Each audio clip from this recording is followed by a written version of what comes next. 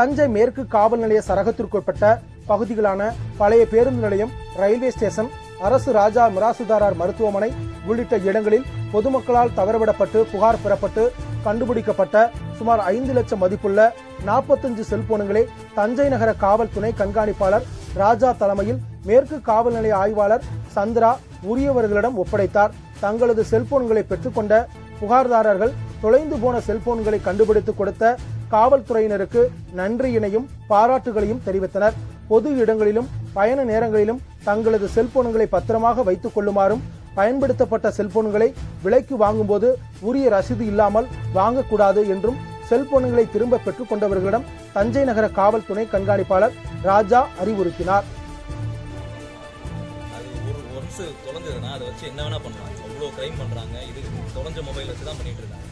அதனால் mobile phones எங்கே போனாலும் இருக்கா இல்லையான்னு ஒரு ஒரு வாட்டி இல்லை ரெண்டு வாட்டி செக் பண்ணிகிட்டே இருப்போம் கேர்ஃபுல்லாக பார்த்துக்கோங்க அலர்ட்டாக